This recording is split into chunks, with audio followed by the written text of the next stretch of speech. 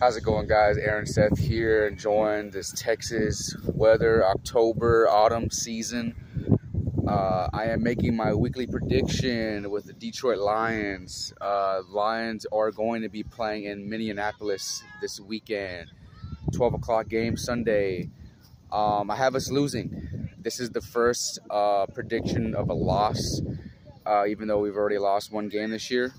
Um, I have us losing today, uh, tomorrow's game on Sunday. Um, we're going to be losing uh, 33 25. 33 25. That's all right. Uh, it's just a divisional game. Division is tough. We can't win them all. So I am totally uh, aware of the situation that, you know, we're going to be playing our butts off. But either way, I don't think we're going to be able to get it done we'll be able to have our sights set for the following week. So I'm excited for that. Uh, stick tuned for all the other future events that are going to be happening. Going to be going to the Houston Texans game in November against Detroit. So I'm really looking forward to that. But uh, we'll see what happens.